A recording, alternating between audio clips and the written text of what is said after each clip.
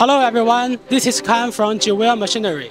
Today I will introduce PE110 pipe extrusion line to you. This line adopts 7538 single screw extruder with 5030 auxiliary machine.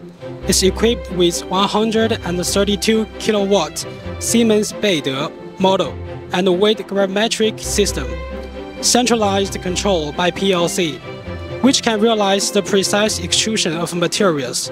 The range of pipe diameter is 20 to 110 millimeter, and the maximum production capacity reaches 800 kilogram per hour.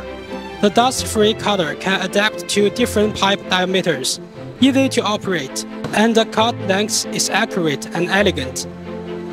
Okay, so much for today. Thanks for your watching. See you next time.